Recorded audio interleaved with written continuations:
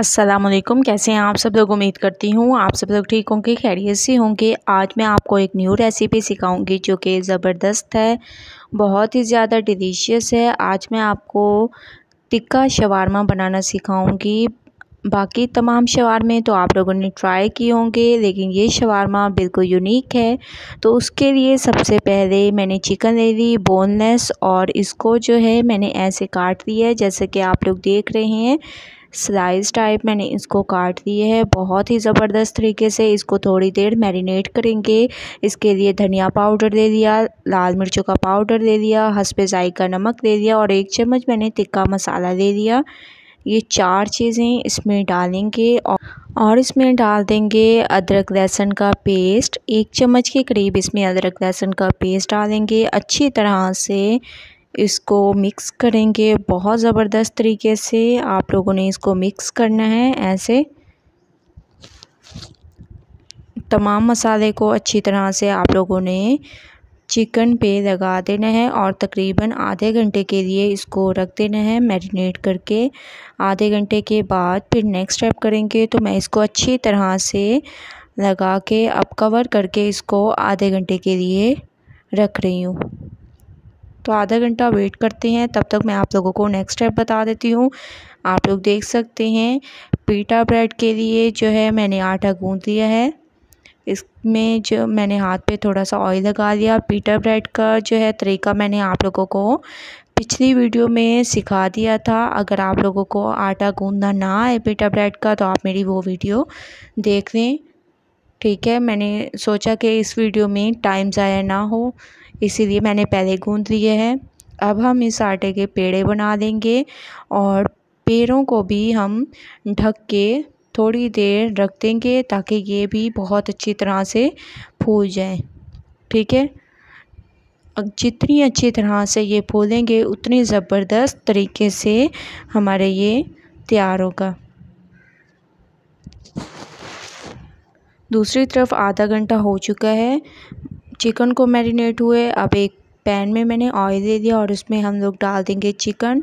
अच्छी तरह से चम्मच को चला देंगे। ये अपने ही पानी में पक जाएगी। दो मिनट के बाद आप लोग देख सकते हैं, चिकन ने अपना ही पानी छोड़ दिया है, जैसा कि आप लोगों के सामने है। तो इसको ढक के तकरीबन दस मिनट के लिए पकाते हैं, फिर नेक्स्ट स्टेप करेंगे। दस मिनट हो चुके हैं, माशाल्लाह से आप लोग देख सकते हैं।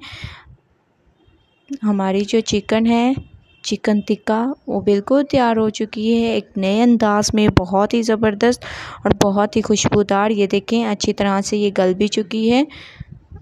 अब हम इसको साइड पे कर देंगे दूसरी तरफ़ आप लोग देख सकते हैं, जो हम लोगों ने पेड़े बनाए थे, वो कितने ज़बरदस्त तरीके से फूल चुके हैं। अब मैंने उनको दोबारा से ऐसे पेड़ों की शेप दे दी और इनको हम एक एक पेड़े को साइड पे रख देंगे और एक पेड़े को हम बेलेंगे ऐसे आप लोगों ने इसको बेल देना है। अच्छी तरह से मैंने इसको बेल दिया है।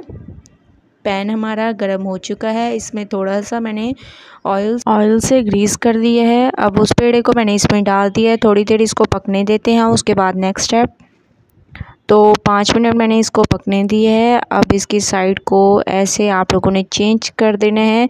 जब तक कलर ना आए, तब तक आप लोगों ने इसको पकाना है। तो तमाम को मैं ऐसे पकाकर फिर आप लोगों को दिखाती हूँ। तमाम पीटा ब्रेड हमारी तैयार हो चुकी हैं। जैसा कि आप लोग देख रहे हैं, कितना खूबसूरत कलर आ चुका है इनके ऊपर। ये देखें। ठीक है, आप लोगों ने भी ऐसे तमाम पीटा ब्रेड घर में तैयार कर देनी है ताकि बाज़ार से मंगवाने की आप लोगों को ज़रूरत ना पड़े। अब हम शवारमा तैयार करेंगे। उसके लिए सबसे पहले एक मैंने पीटा ब्रेड ले ली और इसमें हम लोग डालेंगे शवारमा सॉस, जो मैंने आप लोगों को पहले बनाना सिखा दिया था। ऐसे आप लोगों ने शवारमा सॉस पहले इस पर लगानी है, बहुत ज़बरदस्त तरीके से। इसके बाद रेड सॉस ठीक है? रेड शवारमा सॉस ये लगाएँगे। ये भी मैंने आप लोगों को बनाना सिखा दी थी। अगर आप लोगों को दोबारा इसमें से कोई भी मसला हो तो आप मुझे कमेंट में पूछ सकते हैं। वैसे मैं इसका लिंक भी दे दूँगी। इसके अलावा इसमें हम बंद गोभी डाल देंगे ऐसे। और शिमला मिर्च डाल देंगे। और अगर आप लोगों को कोई वेजिटेबल पसंद हो तो आप वो भी इसमें डाल सकते हैं। लेकिन मैं शिमला मिर्च और बंद भी सिर्फ़ ऐड करूँगी। इसके बाद जो हम लोगों ने चिकन तैयार की थी, टिक्का चिकन ठीक है। वो इसमें ऐसे डाल देंगे। बहुत ही ज़्यादा खुशबूदार हमारी ये चिकन तैयार हुई है, आप यकीन माने। ऐसे हम लोगों ने इसके ऊपर ऐसे डाल देना है। फिर हम लोगों ने इस पर शवारमा सॉस डालनी है ऊपर से ऐसे। बहुत ही ज़बरदस्त तरीके से आप लोगों ने इस पर ऐसे डालते जाना है। और फिर दोबारा से इस पर थोड़ी सी और वेजिटेबल्स डालेंगे और इसको ऐसे आप लोगों ने बंद कर देना है। ठीक है। ऐसे माशाल्लाह से बहुत ही ज़बरदस्त तमाम मैं ऐसे आप लोगों को तैयार करके दिखाऊँगी, फिर चलेंगे हम लोग फाइनल लुक की तरफ़। जैसा कि आप लोग देख रहे हैं, तमाम शवार में मैंने तैयार कर दिए हैं। बहुत ही ज़बरदस्त तरीके से फ़ाइनल लुक आ चुकी है।